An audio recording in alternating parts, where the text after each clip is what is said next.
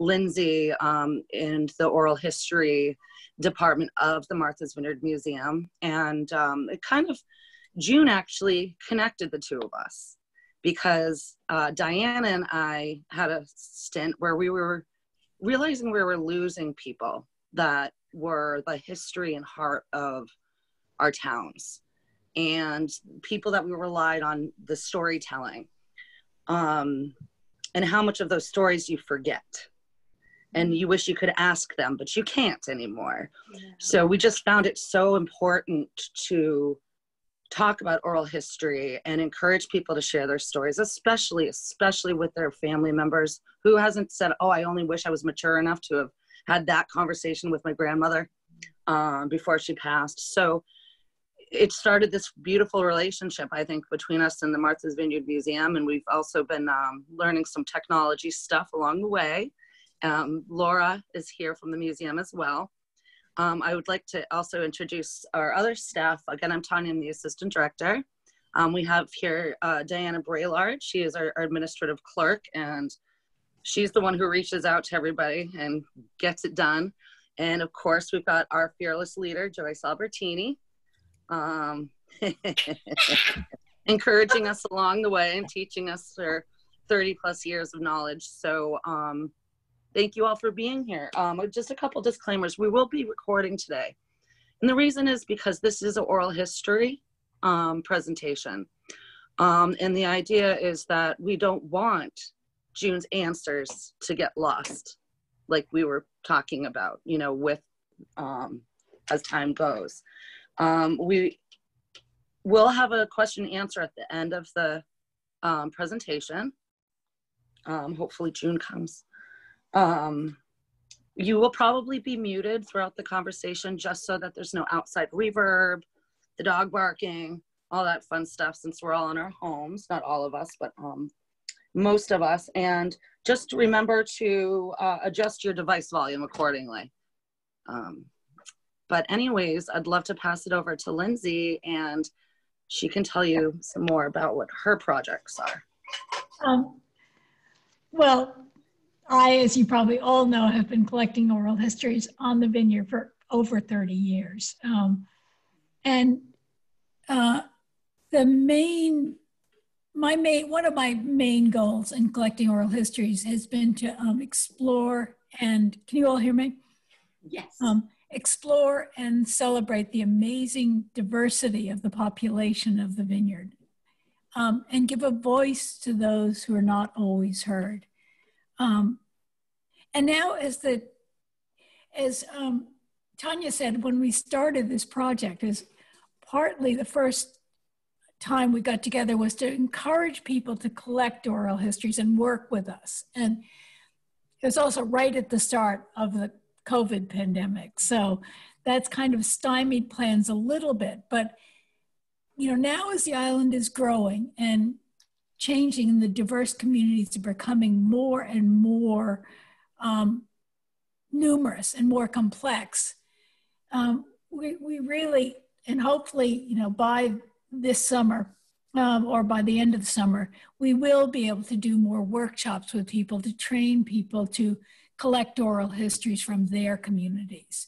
Because um, I think, especially, you know, I go in, I mean, supposedly I'm a good interviewer, but I think somebody within the Brazilian community might be able to gain the trust and um, also understand the language better than I would. Um, and so I think that, you know, that we really are going to try to broaden our, um, our group of interviewers to, to, bring in more of these um, incredible stories. Because I think we have so much to learn from these you know, they're often kind of mundane little day to day stories, but we learn so much about how a community works and how complex all the different parts of a community are. So um, you'll be hearing more from, you know, the museum about outreach to have people um, start collecting oral histories. But I also want to say that if anybody wants to do it on an individual basis,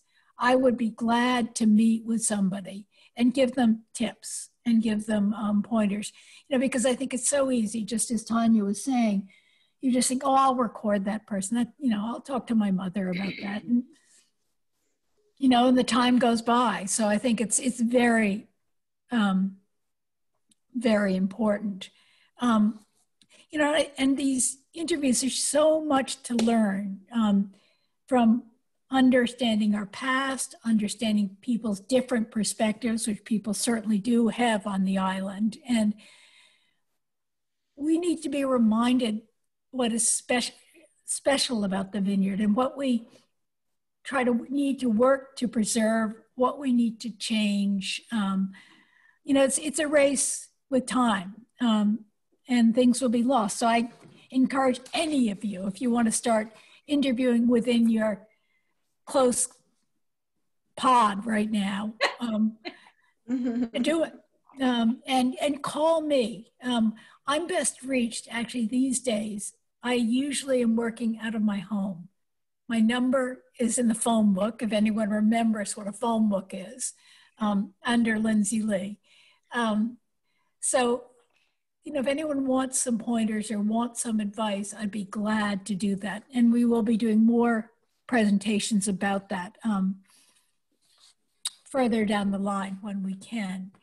Um, what was I going to say? Um, so in, in our collection here, we have um, at the museum, there's we have over 1,700 interviews with people at the vineyard. And um, we're collecting more each week. Um, and oh, here's my here's my little pitch for other ways people can help. Um, you know, they're filled with so many little hidden treasures. So, you know, we tried, we've been working for years to make these wonderful oral histories accessible through my Vineyard Voices books, through talks like this, through our social media program that we have on our computer now. Does all of you know about our the oral history channel and our um, visit the museum from home social media page? So that's one way to share the stories and through our exhibits and, um, and radio talks, etc. Um, and I'm going to say, well, you know, th this program today is, you know, I think especially kind of a, a tribute to to June, you know, because we, I don't know, we all love and cherish June. And um, my little notes I was going to say about that. Um,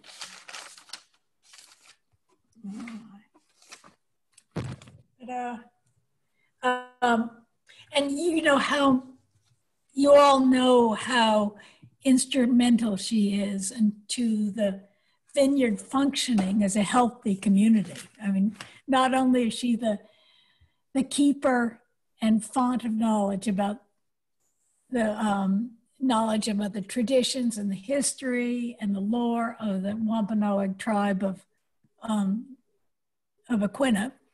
But she also is so generous about sharing this and sharing her stories. Um, and also, you know, the last count, the last time I asked her about this, um, this is in her retirement. She was on 10 different commi- um, committees you know, the one at the museum, the ones, you know, all sorts of that, and boards that, you know, taking the time to help the community shape in a healthy way. So, and she's just wonderful and fun. And I wish she would show up right now, but what are we going to do about um, her? should I play? Should I play the film? Should we play the film so you can see it? So this film is um, just uh, an excerpt from an interview that we did with that I, I guess I did with um, June, and then over the past weeks or so, I added photographs to it to make it, you know, kind of more fun to, to watch. Uh, and there's a lot of I have a lot of pictures. June helped me find some, and I actually figured it out on my own from the 1951 Globe. Um, this actually two days ago was the 70th anniversary of electricity coming to Gay Head. It was the last state in the Commonwealth um, to receive electricity. And, you know, 70 years ago is not that long ago. I mean, there's so many, there are people around now who still remember, as June does, uh, what it was like to live without electricity. So it's pretty amazing um, that, you know, that kind of isolation and hardiness it gave to, um, to a community who is out there sans electricity, without electricity. Um, so um, the pictures from the newspapers are wonderful. I'm going to keep them here. I couldn't fit them all into the film. And uh, it's interesting that era of all of the women who are married are called um, Mrs. George Cook or Mrs. Peter so and so. It's not, nobody has their first name. Um, none of the women do. The men do, um, of course, and the unmarried women do. But so there's little, um, well, I'll just go with the film and you can see it. Take it away, Laura. It's short. It's only four minutes, I think.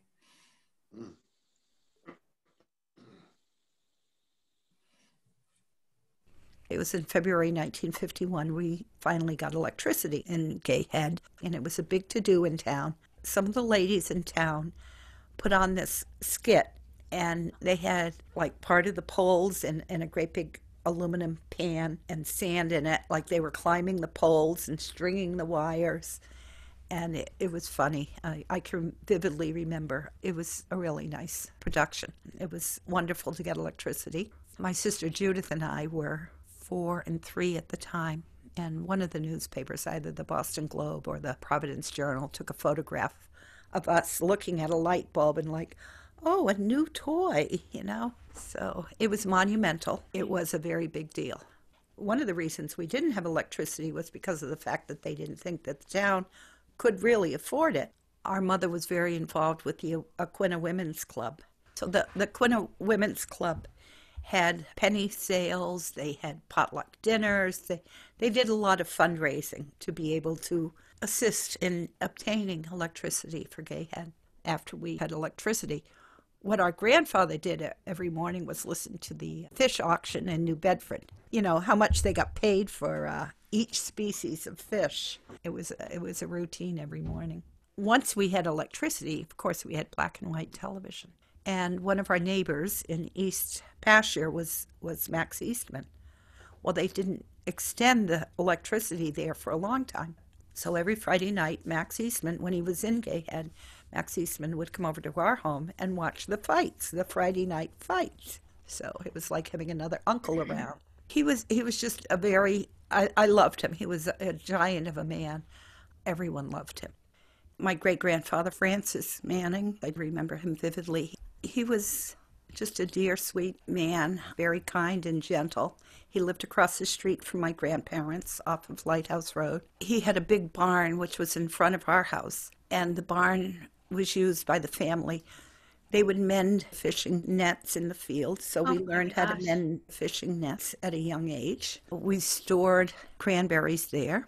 We hung deer there during hunting season, and we had a lot of clay there that our other great grandmother used for her craft work. She was Anna Madison Smalley. She would fill bottles, a lot of fancy bottles with different colors of clay from the cliffs, with different layers of different colors. They were very pretty. She braided rugs, she made potholders, she made yarn dolls, her beadwork, and her house around the dining room table. There was a bench, and it went around two sides of the room in the window. I loved going over there when I was little. It was all a family affair, and we would all sit there and work on things together. We helped her with everything sorting the clay, cutting the wool for the rugs, helping her braid with the beadwork. She was the sister of Napoleon Madison, who was our medicine man at the time. He lived right across the street from her. And she and Napoleon would work all winter. You want to a lot of nice items to sell up at the cliffs at the Aquinnah shop. And they would be up there every summer. We talked all the time about history, about Cranberry Day, about the old trails, about the Gay Head cliffs. Anyone could take clay from the cliffs until 1966 when the cliffs became a national landmark. Even today, tribal members are still allowed to take clay. And we talked about the fishing, who was who. I just lived it. I lived it on a daily basis. It was wonderful. Oh, lovely. Wow, you did a great job, Linsey. Thank you so much. And I'm sorry I'm late. I just snoozed. I uh, had a little surgical procedure this morning and uh, You deserve it. I mean, not the, not the procedure, but the snooze. yeah, yeah. So I, uh, I, but you did a beautiful job of presenting it all. And uh, what a, what a gorgeous presentation. Oh, thank Oh. you, thank you, thank you. Well, you were the one who did the glorious job of telling the story. Um, it has been, you know, it's so much fun to hear the stories from June because she has this prodigious knowledge of all sorts of walks of life on Martha's Vineyard with the tribe. She can even talk to you about Hollywood, uh, where she spent some time, and uh, and she's so good about sharing it. Um, so it's just so much fun to listen to her talk. So, um, what I'd love to do, June, is just ask you, do you have energy to answer some questions and ask? Sure, sure. Yes. Okay. Um, one of the things, June, and you missed my tribute to you in the beginning. Oh, thank you. I will say it to you later. Thank Um, you. uh, is, you know, it, it seems so much in your growing up on, on the vineyard that traditions and holding on to traditions were important, the way you talk about it in the, in the piece. Do you want Right. to talk a bit about some of the traditions that were important to you and your family?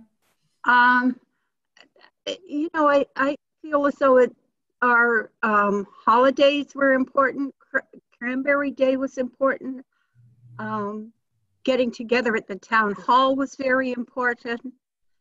Uh, we just, you know, kept everything alive. We, we went out on the fishing boats together and uh, we did a lot of things as, as a family. We, we went cranberrying, uh, we picked beach plums every fall. It was just all part of our, our family life. And, uh, you know, those are things that I've passed on to my, my son and my grandchildren.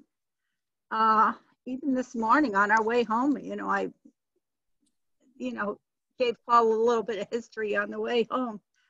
Um, but it's all just very important. And they they appreciate it and they acknowledge it and they recognize it all. And uh, i'm very proud of them. They're uh, and you know they're all good kids. Well two of them are in their 30s and noah's 14 but they're all they listen. They listen to me. So And that's what's so most important. That's what we all need to learn to do is to listen, to listen to your wonderful stories, to the wonderful stories of other people. Tell me a little bit more about the routine of Cranberry Day and what you bring down to eat. yeah we would all- we would just all get together and um, get together mostly in an oxen cart when we had them still around here and it was it was a huge picnic it was uh you know mom would fry chicken with the other mothers and uh oh wait a minute i've lost you for a second and uh We can still see you. Okay, and, and uh, our grandmother would bake apple pies and mincemeat pies with venison. Hmm. Um, And we would all go down to the cranberry bogs and, and harvest. I have a couple of pictures that I love that show uh, Uncle Amos Smalley and Aunt Addie at the, at the cranberry bogs. And I would like to enlarge those and share them with others. Um, and we would harvest all morning, like we still do. And the kids would have lunch and then we'd slide down this great big hill of, of sand dune. And uh, and then we, we would play games most of the afternoon. Nowadays they have a feast at night but in the old days we just feasted at the beach and it was beautiful. It's really nice. So uh, Um, those are those are things that my grandchildren enjoy now Yeah. that i enjoyed as a child so the like I'm trying to um it seems like you did so much with your family, much, much more gosh, than yes. people do now. Yes, we were always together. We were we were generations together. Whether we went down island Christmas shopping or down island to dinner or or out on the Bozo to New Bedford or uh, you know fishing over to no man's land. Uh, you know, two or three generations together. We did a lot together. We were very close.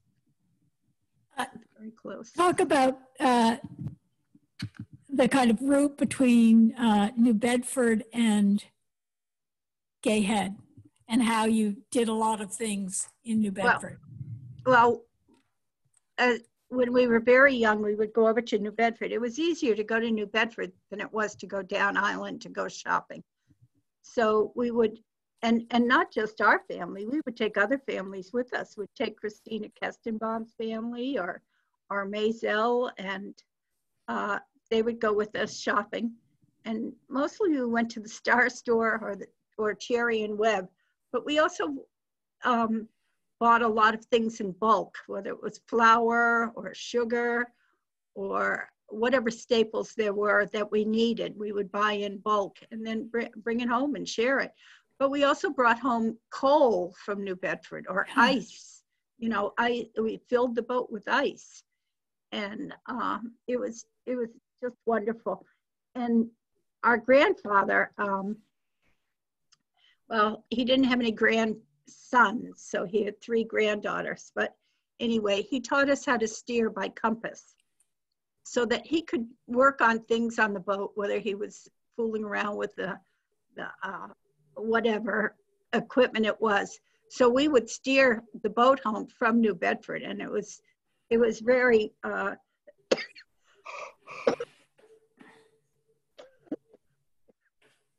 excuse me.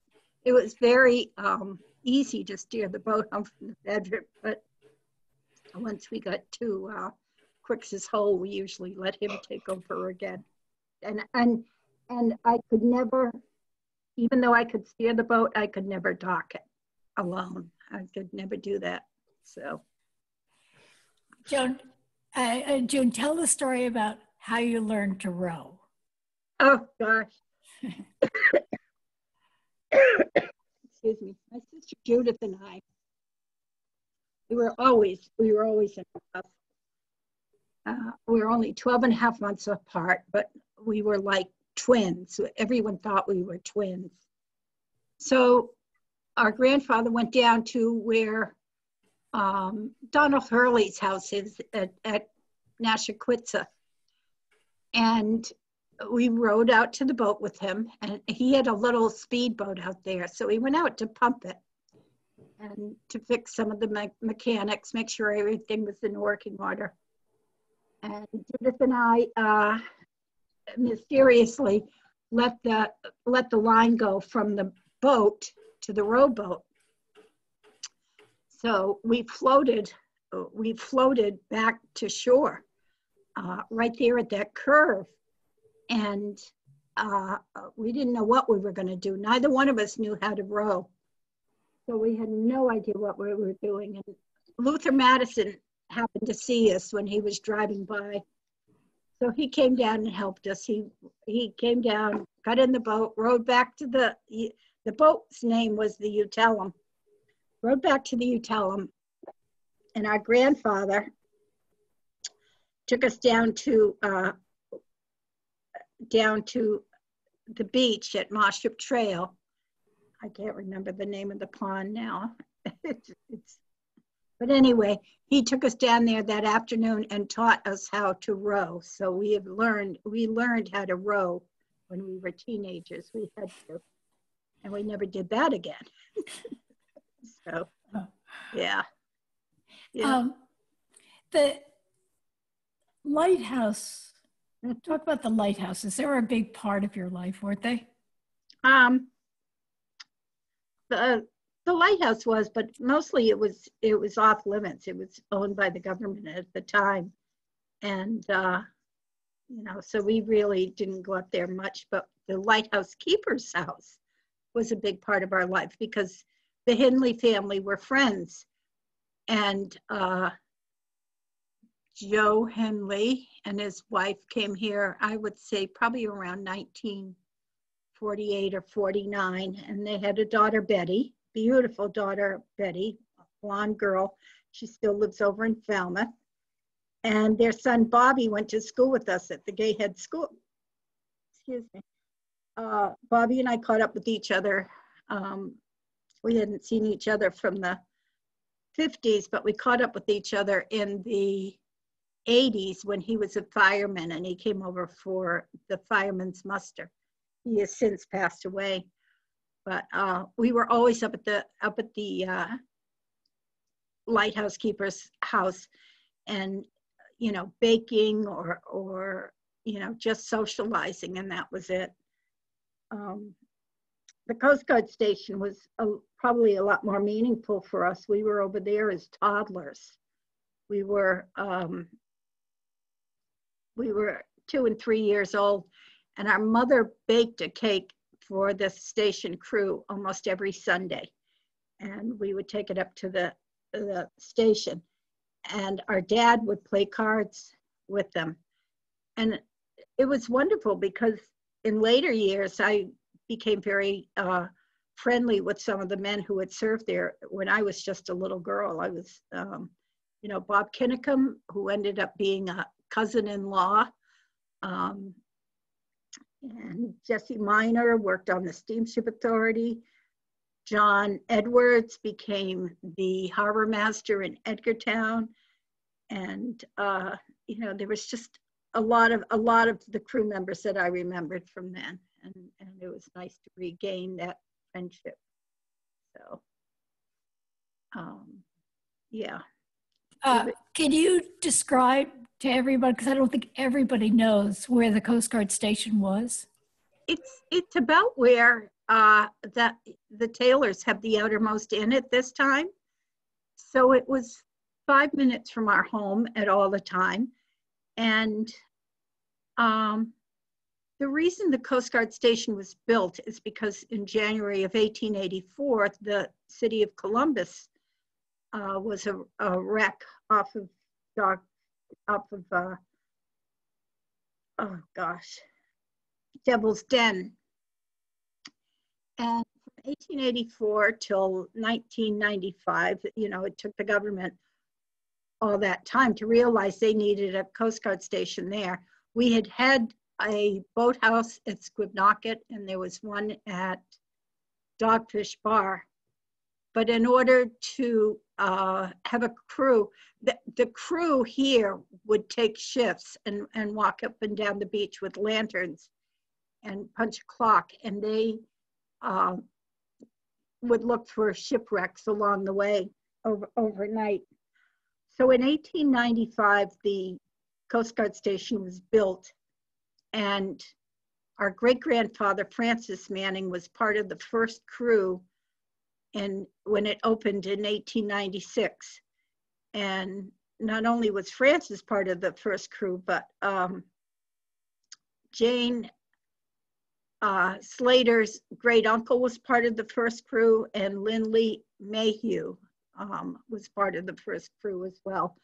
So it was mostly half uh, Gay Head men and half Chilmark men, and they they manned the station until, you know, they were under the auspices of the Massachusetts Humane Society and uh, they were part of the United States Life Saving Service until it became the Coast Guard in 1915. So um, it, it was always, and, and then, you know, we were there until 1952 when they decided they were going to have to abandon the station because of the erosion. And they uh, barged the Cuttyhunk station over to Menemsha uh, August 3rd, 1954.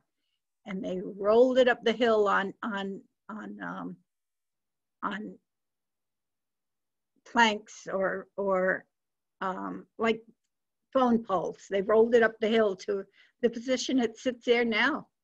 Um, so it, it was, uh, and we went down there and played as well.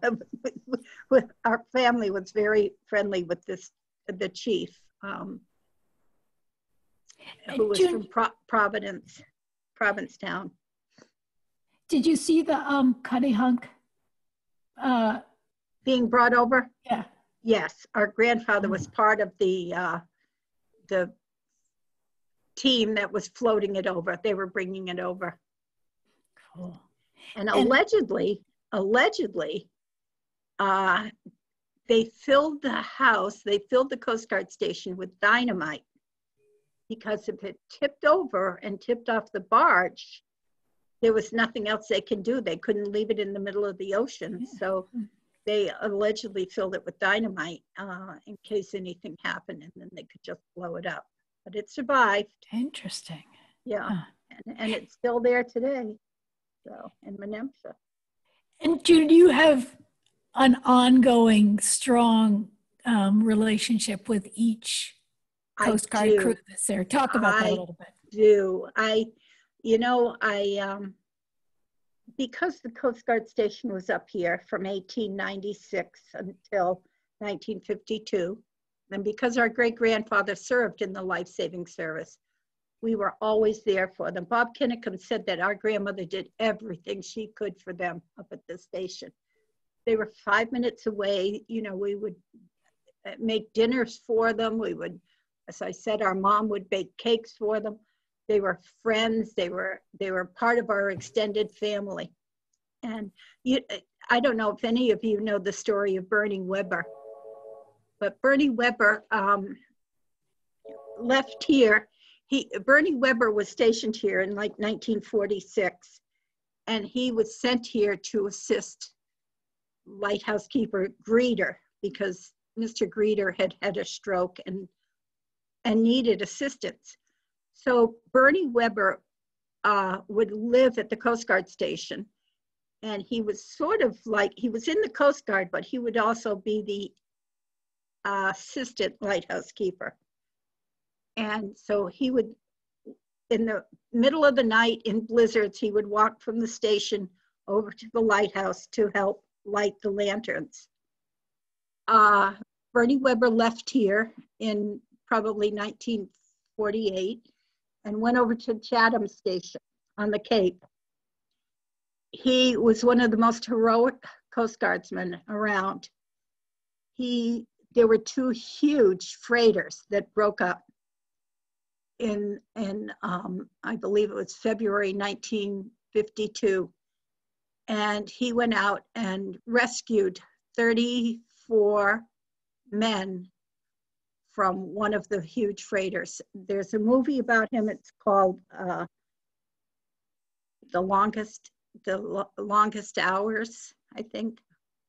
Um, but it's a very it's a unbelievable movie, and he was acknowledged and rewarded for his heroism for that, for rescuing 34 people.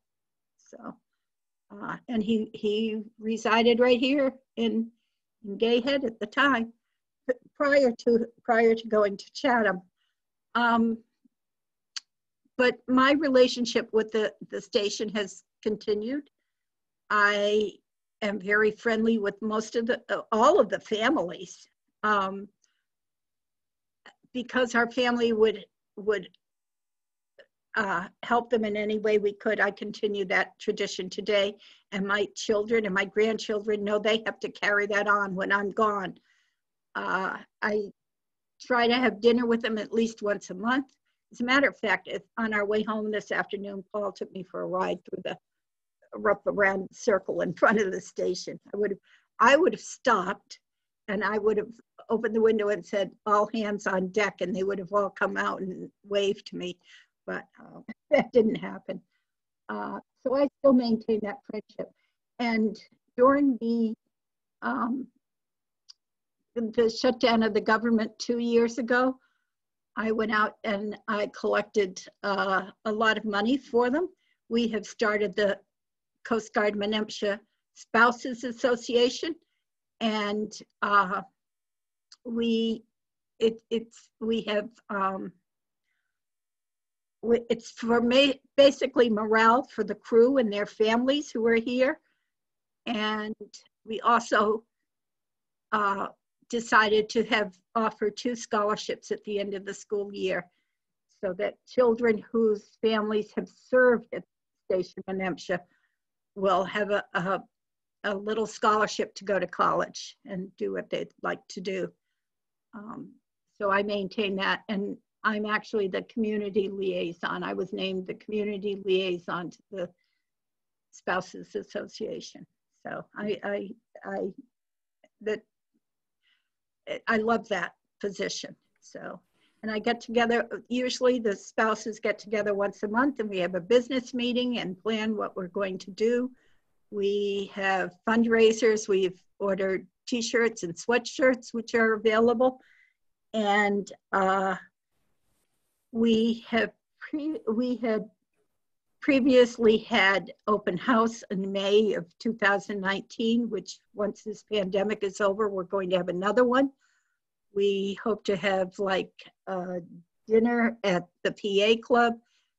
Uh, and and it's it would be another fundraiser.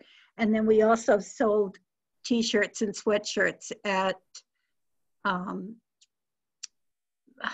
in Menemsha for um, the Fishermen's Preservation Trust Day, which is like August 1st, I believe. And then we have another little celebration on August 4th, which is Coast Guard Day. The Coast Guard was formed on August 4th, 1790. And so we honor that day as well. So we're a very active group. Didn't I say that June is a pivotal person in making this island work and bringing together people? and she's she's lazy. She doesn't do much, but uh, but when she does, she does it good. Uh, so um, the, the, the I'm going to ask two questions that are sort that are you've sort of just answered one thing. Uh-huh. But, um, one is um, this kind of an obnoxious question I hate, but one is um, what does it mean to you to be a Wampanoag? And also, can you talk a bit about the in 1974 getting together the cultural um, sure. programs? Sure. Um, you know, I I always pronounce our tribe Wampanoag. And I tell people when they look at me, I'm, I'm like, that is what I learned when I was two years old. And that is how I pronounce it. Uh, it was just it was just that we knew we were li- we were little Indian children from a, a Indian community, and uh, you know we all went to most of us went to the same church. We went to the same school. We our parents were all contemporaries. They were, we always socialized together. And in 19 so it was part of us. It, it, we knew it was part of us. You know, we had relatives down island that was were members of the Portuguese community. Uh, we had, you know, relatives that were part of a German community. We had, you know, so there were there were little ethnic groups, and but we knew that we were Indian, and and that's the way we were raised. But in 1974, Joan Gentry Pata, who just passed away a few weeks ago, uh, we wrote grants and we started the, um, it was, it was a Title IV program through the Bureau of Indian Affairs. So we had a uh, cultural enrichment program for the school children between five age five and, and through high school. And I can remember I said to my family a couple of weeks ago, I said, one little boy looked up at me with his beautiful eyes and he said, Is it okay to be Indian? And, you know, we reassured him that yes, it was okay to be Indian. He was actually from a, a Portuguese community as well. So we, Joan and I met with the children, I would say four days a week. We met up island at the town hall two days a week, and we met at the Baptist Church Parish House in Vineyard Haven two days a week. We brought in a lot of our tribal elders to teach them uh, tradition and to teach them uh, cooking and and uh, fishing and and whatever we could do. I remember our grandmother Ada taught them how to bake pies. Uh, Gladys Widdiss came in and taught them how to do pottery, as did Winona Silva. Um, our grandfather took them out on his fishing boat, the Ada and Helen. He took them over to Cuttyhunk for a day, which was wonderful. We took the children up to Boston to a circus, uh, to the Franklin Park Zoo. We we just did as much as we could with them to in, indulge them in, in, in their culture and heritage and, and to let them know the way the rest of the world lives as well. And um, we, we um, made our regalia and, and presented it in the um, in, in the um, we, we had a, a procession down the cliffs. We would call it the pageant, which was written locally. And we would perform the pageant in mime. We would, you know, there would be a narrator. When, when in the 1940s, our mother would probably narrate one year, and then the next year she'd probably be Squant, who was Moshup's wife. But we all met up at the Aquinnah shop. There were about a thousand motor vehicles in town, parked all around the circle and down State Road. And we would leave from uh, the edge of the, the Aquinnah shop and head out towards Mane- uh, uh, no man's land. And we had a huge rock in the middle, which was called Devil's Den. And we would perform the legends of Moshup around this rock and the young men uh, carried kerosene uh, hand lanterns, not lanterns, but but um, they were they were carried by by the hand and and they lit the way. They they led the way down the, to devil's den. Torches. Torches yes thank you. And so we would perform the legend of Moshup about Moshup and his wife Squant and their 12 sons and their 12 daughters and their lifestyle in, in Gay Head at the time. And how at the end of, his, towards the end of his life, Moshup gave his children the choice of becoming uh, either killer whales, which lived right around Gay Head, or um, he gave his pet frog, uh, he he um, made his pet frog into a rock, and that is what we call uh, Toad Rock. And Toad Rock is a large boulder off of Moshup Trail. And in the old days, people would take take messages there and leave them in the rock. It was like our mailbox. And people, you know, they lived they lived uh, separately between the east side and the west side, but they had their little their little quirks and but they would always leave messages there for another person on the other side of town. So yeah. Would you sneak and read somebody else's message? Probably not. No, no. You'd have to see who it was for. Hopefully, right, right. hopefully they put the name on the top of it. And and so Joan and I had the um, the cultural enrichment program for I, I only did it for about two years, but we taught the kids pottery and beadwork and leather work. Uh, and I said, as I said, we took we took to the Vineyard Museum at, at the time. Uh, so we did as much as we could to to expose them to as much as possible. And and a lot of those children, you know, remember me from that. You know, it's amazing but they do. And uh, June, did you had you felt that there was kind of a dearth of that, that there wasn't enough um, knowledge passed on about the culture it, it, at that point?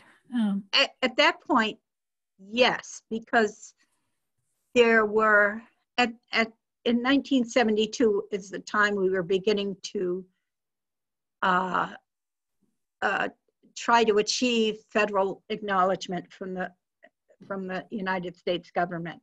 So this was also part of the plan. Hmm.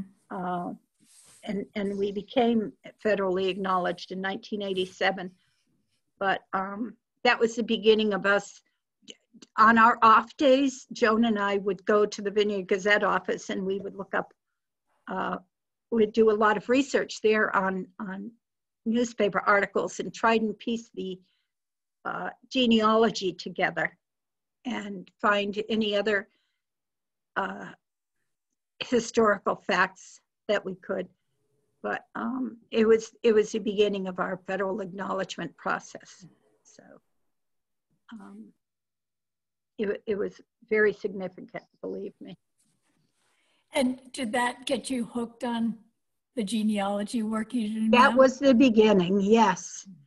And uh, my kids look at the massive amounts. I think my daughter-in-law Teresa said too. the amount of photocopying you have, and I'm like, yeah.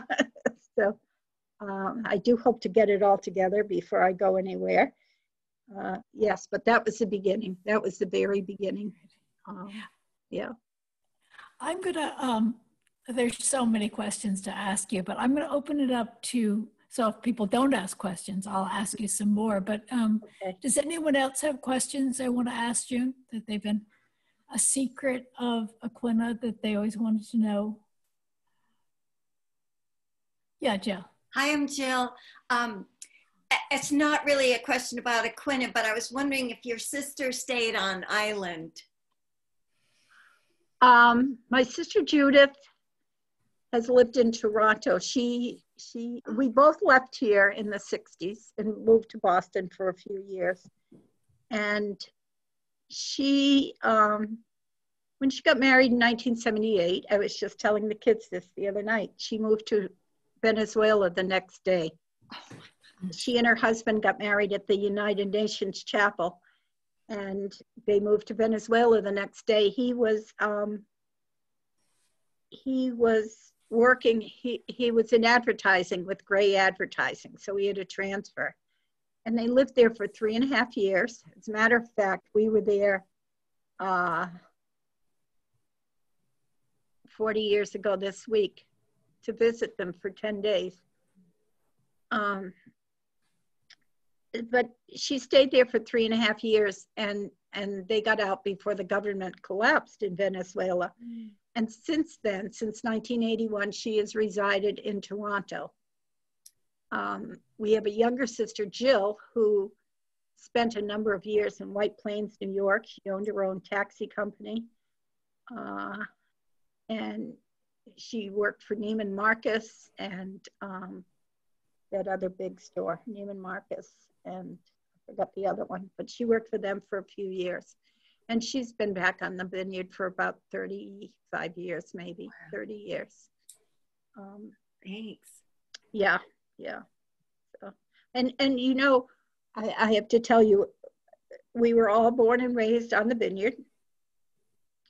Our parents separated in 1956, and our mother took us from Gayhead to Hollywood, California.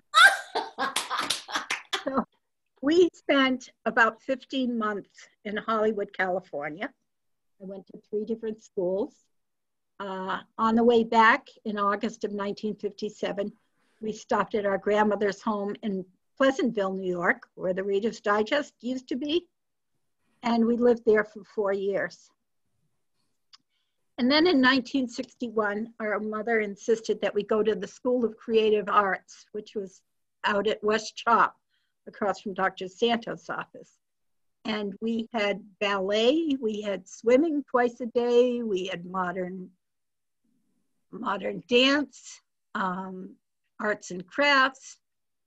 And going to that school then and knowing what I know now, I would have never sent my children there. Uh, it was run by, by Kathleen Henney, who was a, a, dancer in New York who had studied under Martha Duncan. And she really ran it on a shoestring. Mm. Uh, I was reading I was reading something from one of the girls on, on Facebook a couple of weeks ago, and she said, I'll never forget the night we had lettuce for dinner. oh my gosh. She would take us out once a week. She would bring us up to Gay Head, out to Chappaquiddick. Uh, we went to see a streetcar named Desire at the theater, which was above the Edgartown Town Hall at the time. I don't think she took us anywhere where we would have fun.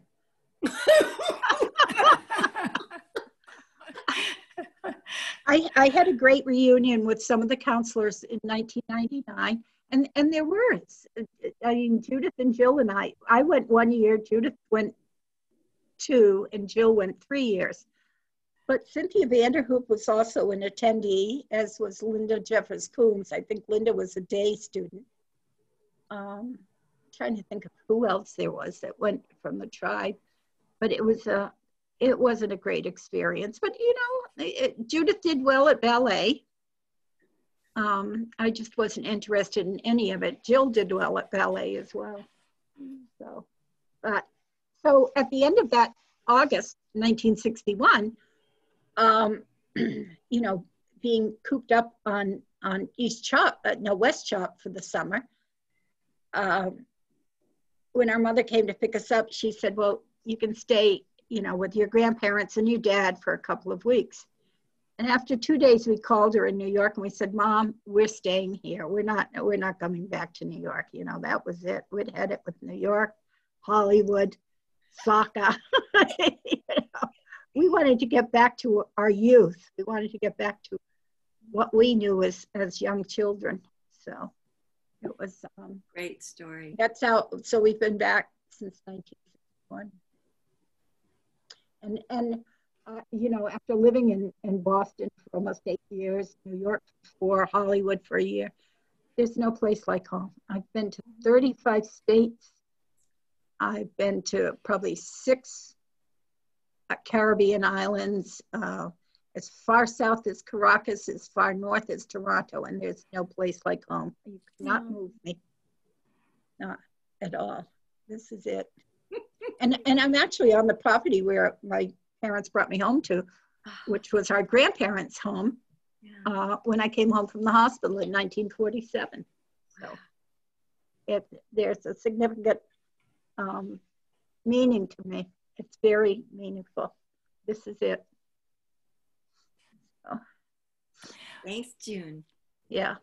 yeah. What one more question? We've been talking for so sure. long, but um, I want you to describe a career that you did for a couple of years that you did not like when you came home from Boston and came to the vineyard.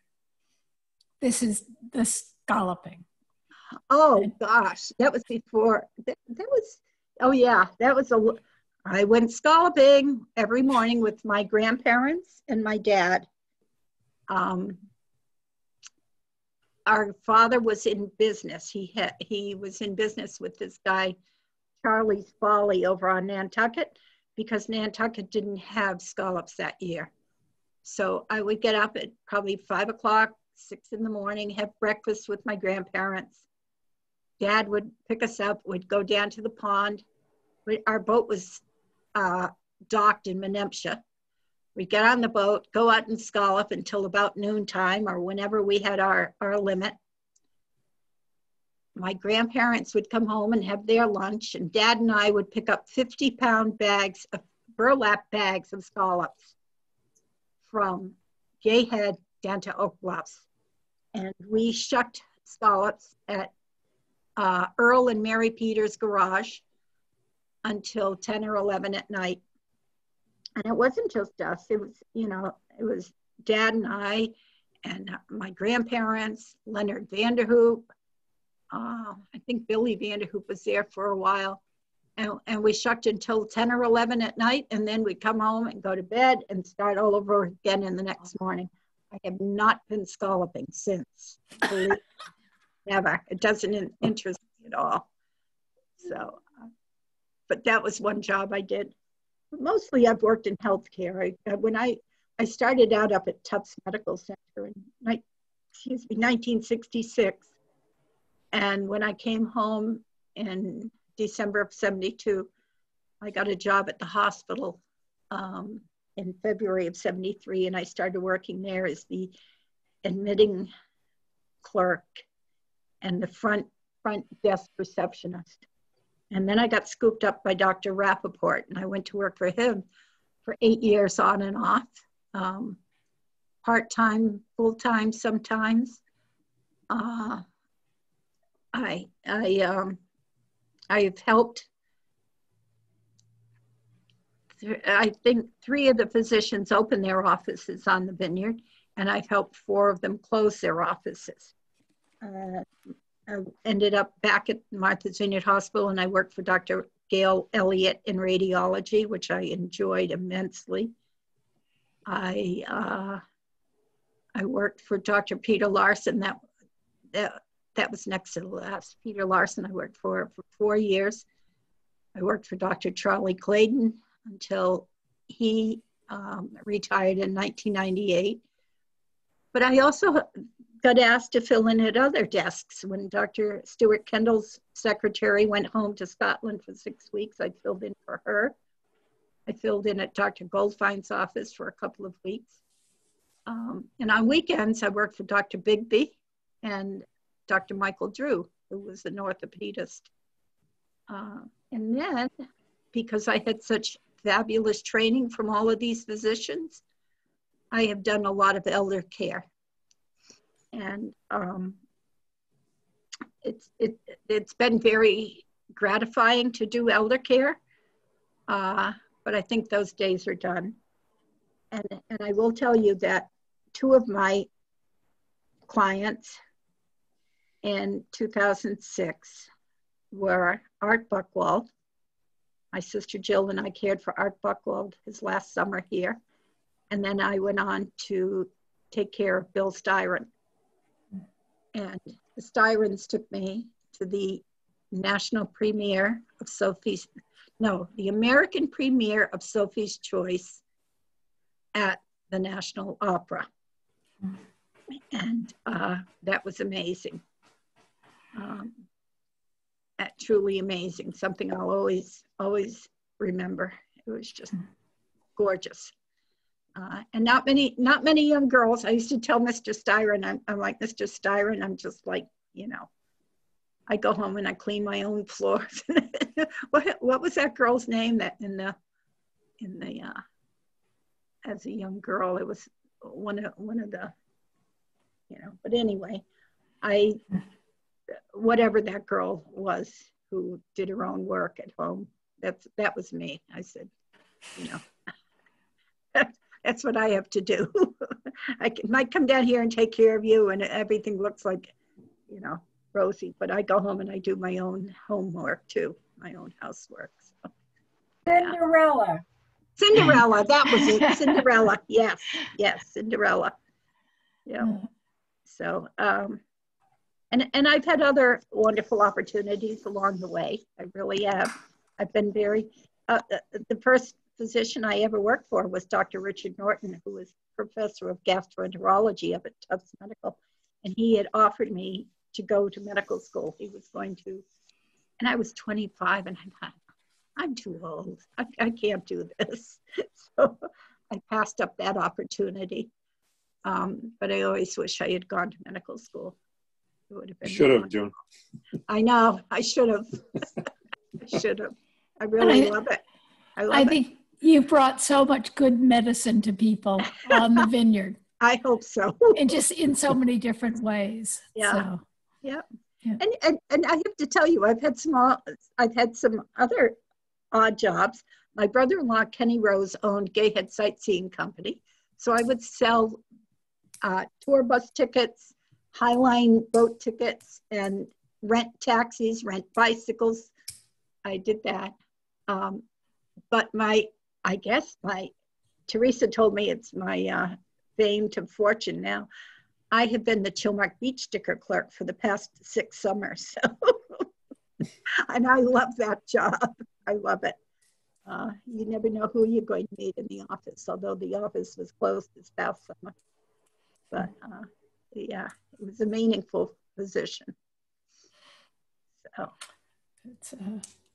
but uh, you know, I've been fortunate. I've been very fortunate along the way, and and as far as my genealogy, the only time I ever charge for my genealogy is when I'm doing um, research for an attorney.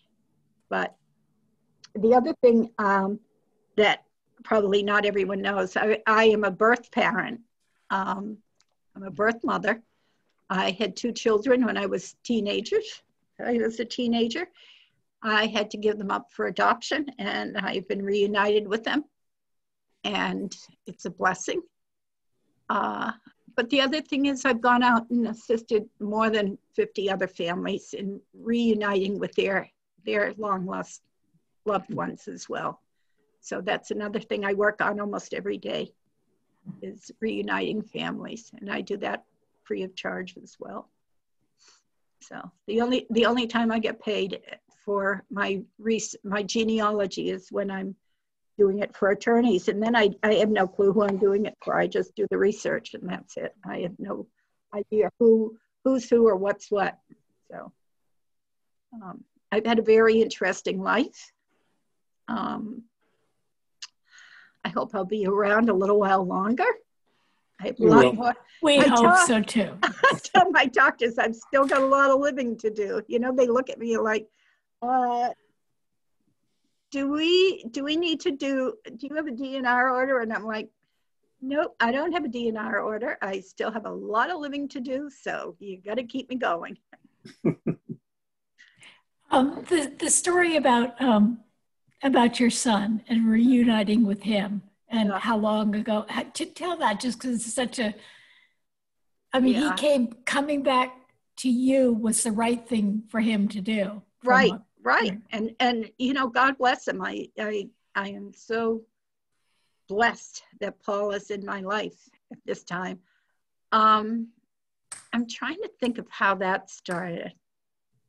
That that's one thing I can't remember. But we've been reunited since uh, June of 1992, and uh, miraculously, he he we were reunited on June 16th, 1992, and my youngest grandchild Noah was born on July uh, on June 16th, 2006. So mm. there is a connection there, but um, I know what it was. My sisters and I had some uh, cousins who were suing us for like half a million dollars, claiming they were um, trying to obtain some of the money and property from their grandfather's property. I had 30 days to prove them wrong. I had 30 days to prove that they were not this man's children. I went to the Vineyard Gazette. I went to the Martha's Vineyard Museum. I went to the church records. I asked everyone in town. I spoke with the elders. And um, the last thing I did was our late town clerk, Jean Ann Jeffers, provided me with the logbook from the town clerk's office. And I brought it home one lunch hour when she dropped me off. And the first page I opened to was, it said baby boy Manning. And I'm like, oh my God. So his, they had crossed everything out, all my information, and they put in his father, his adoptive father, who was born in Oshkosh, Wisconsin, and his adoptive mother, who was born in um, Old Town, Maine. Well, Old Town, Maine is where the Penobscot Indians live. So I called my friend up at Old Town, uh, Jim Sappier, the late Jim Sappier, who was the governor of the Penobscot tribe. And I said, Jim, do you know this Ranko family? He says, Oh, yes, very good family, you know, blah, blah, blah. Uh, I also had a friend working on it on her computer and found a lot of the information as well. And then I had a friend who worked for the Registry of Motor Vehicles. And he said, Well, your son tends to speed around like you do. so I'm like, Okay. So that night, uh, my friend Wendy came over and we sat down and we called Paul in Florida. He wasn't at home at the time. He was out showing friends a map of where he was born in Gay Head. He was born at our, our home up by the lighthouse. Um, and uh, he called back a few hours later. And uh, we spoke on the phone for five hours that night. That was on a Friday night. And he arrived here on Tuesday and he's still here. so, and I'm so blessed that he is here. He's been unbelievably supportive of me through my recent illness. So um, I, am very blessed. But, and then a couple of years later, I found my daughter. She was born in New York. Uh, she lives in she lives in Mesa, Arizona, and I'm not really that close with her. You know, we we're just not that close, sadly. Um, I think it's her, but that's okay. And I have one granddaughter in Mesa, Arizona, and one in Las Vegas. And I have three great grandchildren in Las Vegas. My oldest great grandson will be 18 this week. And uh, of course, here I have three grandchildren Chris, Kayla, and Noah, and my six year old great granddaughter, Kylie. So, yeah, my family blossomed significantly. And I love it. So it's good to see all of you. You know, I've been kind of, the kids were over here on, on Monday, and it's like, you know, we all thought a year ago, this time, we all thought the pandemic was going to be over in two weeks, and here we are still hiding. Mm. So, yeah. Hang in there, June. Yeah, I know. Yeah. I know. You, yeah. thank you. This has been so nice to hear sure. your stories, and there are so many more. There um, are many more. There are many yeah. more. Maybe I can listen I'll... to you all day. thank you. Maybe someday I'll write a book. Okay. But, um, Please had do. a very, very charmed life, believe me. That's for sure. And, and if any of you are on on Facebook, I'm a Facebook junkie.